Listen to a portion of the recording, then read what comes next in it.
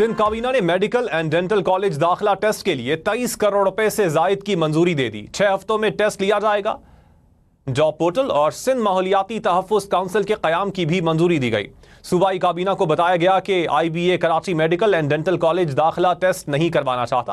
ताहम आई बी ए सखर ने टेस्ट करवाने की हामी भरी है। सिंध काबीना ने ई स्टैम्प की सर्विस के लिए बोर्ड ऑफ़ रेवेन्यू और पंजाब इंफॉर्मेशन टेक्नोलॉजी बोर्ड के साथ माहे में तोसी की मंजूरी भी दी। सिंध काबीना ने ढाई सौ मेगावाट पावर प्रोजेक्ट के लिए जिला ठट्ठा में सोलह सौ चौहत्तर एकड़ आराजी एक निजी कंपनी को देने की मंजूरी भी दी।